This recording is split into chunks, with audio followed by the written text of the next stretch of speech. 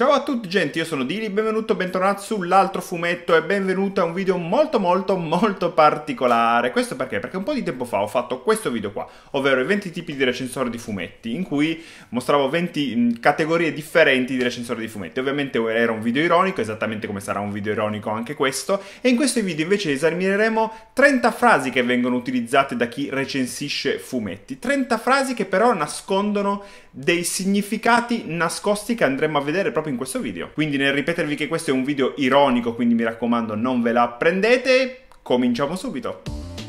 Io sono un appassionato di fumetti, non un esperto. Se dico cazzate sbagliate non potete dirmi niente, io vi ho detto che non sono un esperto. Questa cosa però rientra molto nei miei gusti personali. Non potete rompermi troppo i maroni, i gusti sono gusti, quindi fine del discorso. Il disegno è complesso ma chiaro, io non capisco nulla di disegno, quindi non riesco a farvi un'analisi più strutturata del disegno, però beh, è pieno di particolari, si capisce tutto, quindi ok. Sì, questa io la uso tantissimo. L'opera è molto sfaccettata e si presta a più piani di lettura. Io ci ho visto solo mazzate, però se ci vedete qualcosa di più, buon per voi. È un'opera che vorrò sicuramente rileggere per cogliere tutte le sfaccettature della trama. Oh, io non ci ho capito veramente nulla della trama, però un po' mi rode ammetterlo. Mi piacerebbe rileggerlo, ma non lo farò mai ricalca perfettamente gli stilemi classici del genere.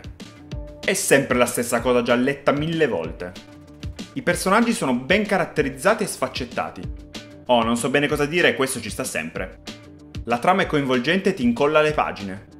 Oh, non so bene cosa dire, questo ci sta sempre. La palette di colori è perfetta per il tipo di storia narrata.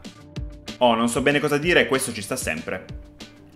In più io non ho neanche ben capito che colore sia tipo il terra di Siena, quindi che cacchio ne so io. Il finale forse mi ha lasciato alcuni dubbi, ma non voglio farvi spoiler.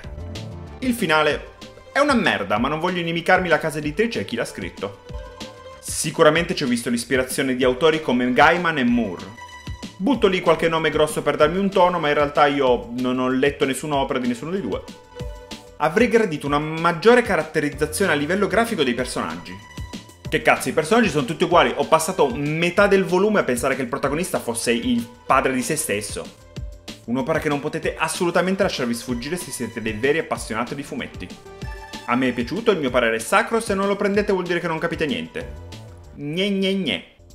Un fumetto che mi ha fatto impazzire, un capolavoro del mondo del fumetto che non potete assolutamente lasciarvi sfuggire oh questo è il primo fumetto che una casa editrice mi manda gratis, quindi devo assolutamente convincervi a leggerlo oppure rischio che poi non me ne mandi più. Sicuramente il ritmo della narrazione c'era l'essenza stessa della storia e la dinamica stessa degli sguardi, del conflitto non fanno che dare forza al peso della narrazione. Sì, la butto in super cazzola per darmi un tono ma non farvi capire assolutamente nulla. Ho trovato la trama veramente molto interessante. Oh, non so bene cosa dire questo ci sta sempre. Un volume che intrattiene veramente molto bene e che ho letto con grande piacere. Oh, sentite, sono 15 anni che parlo di fumetti sempre uguali, non so più che inventarmi, ok? Probabilmente il fumetto più bello che io abbia letto quest'anno. Qui su YouTube è una gara chi la spara più grossa e io non voglio essere da meno. In più non vi fa strano il fatto che io ripeta questa stessa identica cosa tipo 3 o 4 volte al mese?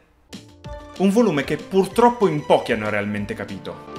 Io sono intelligente e voi no gne gne gne. Ma la storia non è niente di che, quindi non, non ve ne parlo oltre. Evito di argomentare come mai la storia non mi sia piaciuta, altrimenti qualcuno di voi potrebbe ribattere e poi io non sarei in grado di motivare le mie ragioni.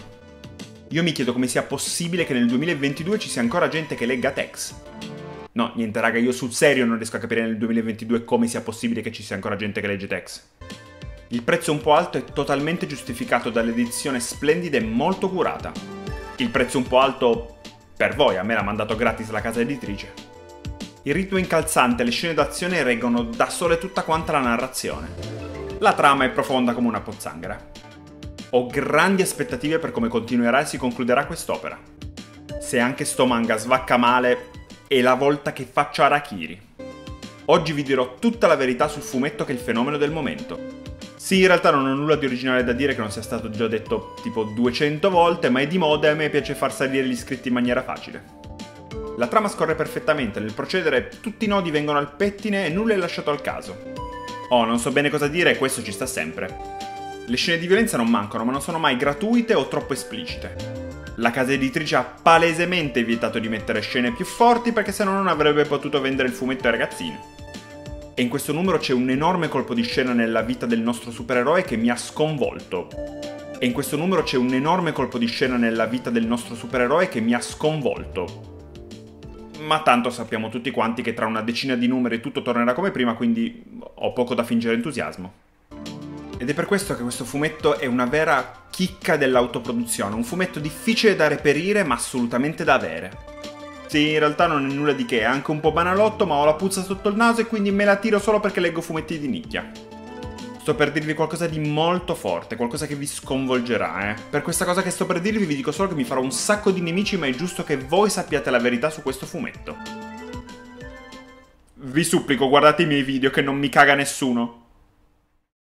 E con questo è tutto, ditemi voi delle frasi che secondo voi utilizzano le persone che recensiscono fumetti, scrivetemele nei commenti e scrivetemi secondo voi cosa significano veramente, spero che il video vi abbia strappato almeno una risata, spero che nessuno si sia offeso per ciò che ho detto in questo video, se per caso qualcuno si è offeso anche un po' sti cazzi, cioè mi dispiace, mi dispiace, però su facciamo un po' di autoironia ogni tanto che male non fa, mi raccomando iscrivetevi a questo canale, sotto trovate anche la mia pagina Facebook, il mio profilo Instagram e noi ci vediamo alla prossima.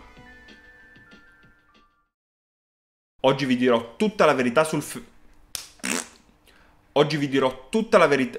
Oggi vi dirò tutta la verità sul... Sul... Oggi vi dirò tutta la verità sul fumetto che è il fenomeno del momento.